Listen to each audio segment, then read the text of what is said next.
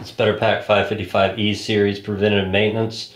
First things first, your heater, don't run it all the way on high. Medium heat should be plenty unless you're in a cold environment or it's winter time. When the machine's not in use, make sure it's turned off. When you leave the machines running, this heater will cook. It will also cause hard water buildup on the tips of those brushes. In between changing out rolls, when you dispense your last piece of tape, pull out that tape, double check under your heater that there's not a small piece of tape here if it wasn't a full piece dispensed. Lastly, take out your upper tape plate and dig out the piece of tape that's caught in between the feed wheel and the blade. Replace your upper tape plate, put the next roll in. One of the biggest issues I see with these machines when I repair them in the field is people just don't keep them clean. They're always dirty. Turn your machine off, wipe down your keypad. Occasionally you want to get a vacuum or compressed air and blow out the cavity of this machine here. Make sure it's all free of tape dust clean your plate down here. This upper tape plate, go clean this. This is really clean. You can clean these plates sometimes with just plain water and your operator will have a much more pleasant machine to work with. About every third time your operator goes and fills this water bottle, take your water tank with you, remove your brushes, and wash these brushes. We use Dawn dish soap to wash our moistening brushes. I use about that much soap. Wet your brushes, and wash them. You want to make sure there's no soap residue left in these brushes when you wash them. You'll kind of see the white of that soap come out.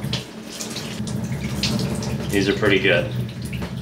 If your brushes don't look this clean, I suggest taking your moistening brushes, setting them upside down in your tank with some fresh water and letting them soak overnight or for at least an hour. That way when you pull the brushes out, the tips of those brushes have had a chance to moisten and the glues will break off more easily and the brushes will clean up a lot better. Oftentimes when these brushes are super worn out, they'll fan out or you'll get a little divot where that tape is constantly hitting that brush and breaking off little bits of the tips. If you're not getting good moistening or the brushes don't clean up well, I suggest replacing these brushes. Better Pack redesigned their moistening brushes in 2022, I believe, around that time. They used to have three rows of brushes and a pen that would come right here. And that pen would go under this metal plate, kind of like that. But these new style brushes don't sit in the tank properly when you do that. These new style brushes just sort of press in like that. You're not putting that lip under this metal tab. This metal tab is just kind of pressing those brushes in place and then you'll have a good surface to moisten the tape. Set your tank and brushes back in place and your refilled water bottle back in place. Aside from keeping your moistening brushes clean and the rest of the machine clean in general, another important preventative maintenance step is to keep your felt pad oiled, which is right here. This felt pad back here rides against the back of the blade. And the purpose of oiling this felt pad is to help prevent the buildup of adhesive on the back of the blade. Since this is a new machine, I don't want to demonstrate and add too much oil to this felt pad. So I've got an extra felt pad here and this felt pad is dry. We use a zoom spout oil and you just want to coat this felt pad in oil and you'll notice what it looked like when it was dry and now that we're adding oil to it, it looks saturated. It's easier to oil these things outside the machine than inside. Nonetheless, you'll see that felt pad is now soaked in oil. When you run your finger across it, you'll see oil on your finger. If you find that you've over oiled this felt pad, take a dry piece of tape, fold it over on itself, pull that felt pad back, and push this tape in between the blade and the felt pad.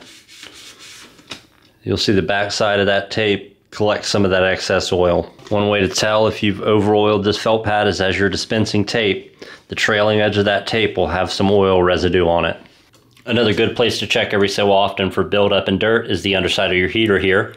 This lower heater plate should be able to snap off the underside of the heater. Any buildup that you see on this heater plate, we use a window scraper and scrape the bottom of this plate. It's also good to check your lower heater plate here of any pieces of tape or debris that are stuck onto this lower plate. Any buildup on this plate or the underside of the heater will create a lip that that tape can catch on and cause more jams. Here's a broken heater that we've taken off a machine in service. And this is the type of the buildup that you'll see. And you can just scrape all that off. Another tool that we'll use is a steel brush. This is good for getting in those cracks on the side here. And you wanna make sure that this is a smooth, clean surface to help dispense tape. So if you keep your moistening brushes clean, keep your machine off when it's not in use, your heater at medium heat, the inside of the machine blown out, and oil your felt pad occasionally, you'll have a well running machine.